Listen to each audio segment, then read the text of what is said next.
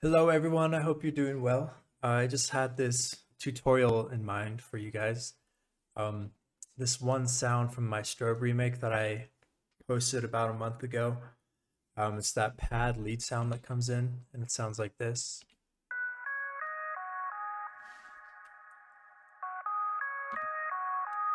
And in the context of the remake,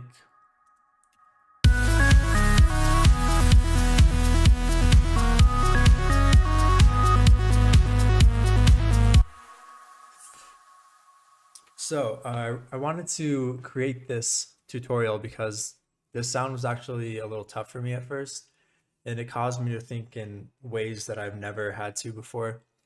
At least it, it taught me a way of sound design that I had never really, really thought of and I thought it was actually a really elegant piece of sound design. So basically it all comes around to the fact that this sound is made with a ghost fundamental. Um, so I have this MIDI track. I'm going to throw a serum in there and we can try and recreate it. So at first, maybe there was a saw wave element.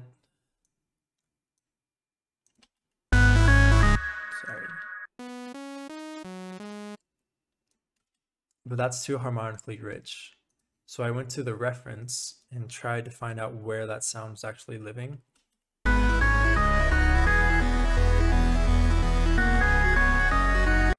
So it's around 1K to 2K.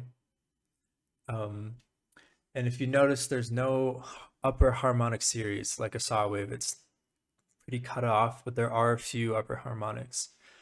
Um, so for me, that meant it was sine wave based, and then there were just a few harmonics added.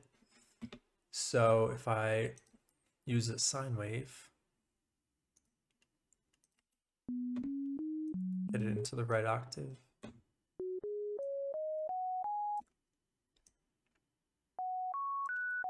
So that's closer.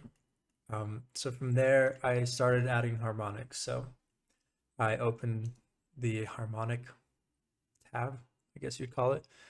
And from here, you can draw in your own harmonics. So if we add the second one, kind of sounds like it. Try the third one. Now that's starting to get way too high already. So I know that's not correct. So I thought it was the second one. But then when going back to the reference, I realized that the harmonics that were next to the fundamental were actually way closer than what I just showed you on mine. So if we look at the reference again.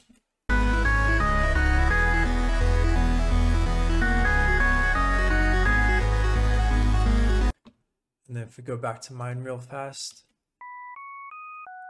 see that gap there is too large, according to what the reference is playing. That octave there. So what this caused me to figure out was that if I start adding these other upper harmonics,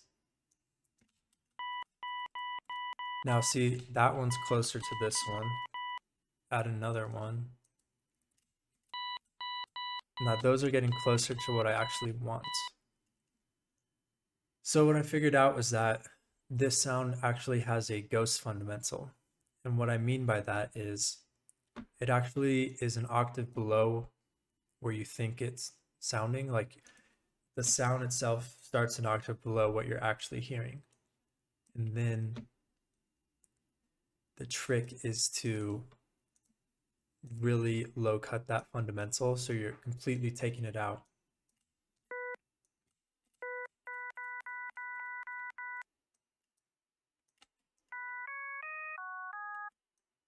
And that is pretty much the sound. This is what I had in the actual remake.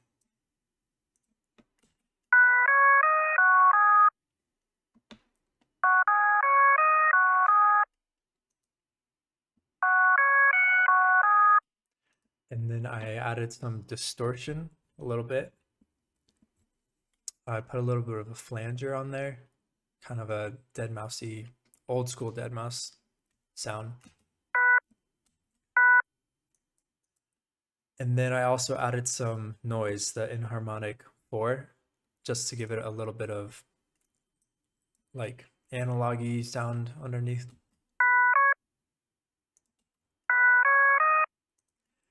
And then I wanted it to have a sharp attack like the reference track.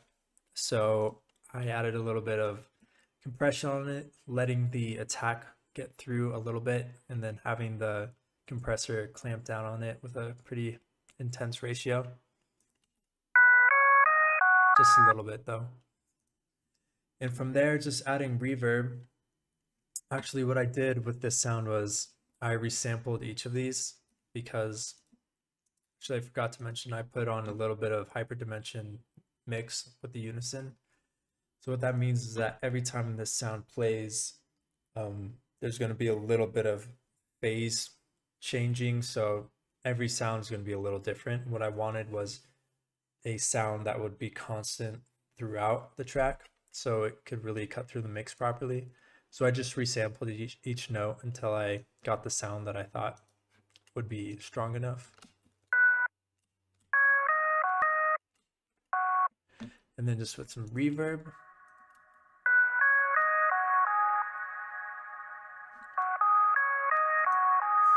And that is the sound.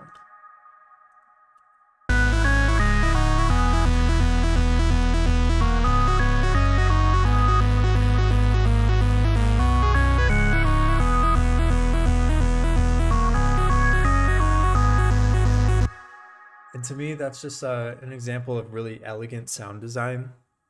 Having a sound that actually has a ghost fundamental and makes it feel really airy and beautiful and just something that you usually don't hear. Like usually uh, the sounds we hear in today's electronic music is just very in your face, aggressive, like very bright. And this one is like a very simple sound, but it has so much more character than other sounds. Like imagine strobe without this sound. Like it just would not be the same song. It's just very, very beautiful and very unique. Has a lot of personality. Yeah. So I hope that helps. Um, again, it was based on a sine wave, and then we added in some harmonics to get a little bit more, I guess, more sound, more character in there. So it actually cuts through the mix and you can hear it and notice it. But then we lowered it an octave, cut out that fundamental. So it has a ghost fundamental and then just put reverb, compress it to taste. And that is the strobe pad sound. Um, so yeah, if this helps you out, please leave a like um, and a follow if you would um, and comment if this helped you. That way I can work on creating better content that actually serves you. If this isn't doing any anything for you, then there's no point in me like making videos like this. I just thought that this is such an iconic sound and that it would be helpful to learn, especially because it has a pretty unique type of sound design. So yeah, um, thank you for watching. I will work on some more content and some more remakes and I hope to see you in the next video. Thank you.